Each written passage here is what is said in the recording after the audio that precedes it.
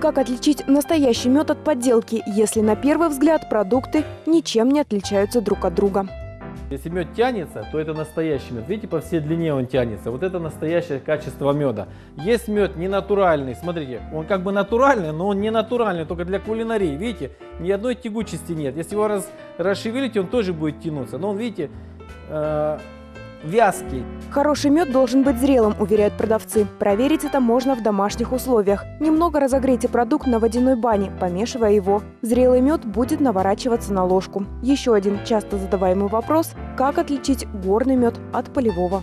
Желтый и коричневый меда – это преобладание гречихи и подсолнечника. То есть желтый мед – это большинство подсолнечника рапса.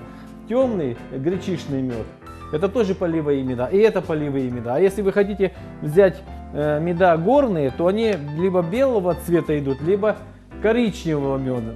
Самые хорошие меда вообще считаются гипоаллергенные. У кого аллергия, химиотерапия, сахарный диабет, миокард. Это, видите, надо брать только белые меда. Вот.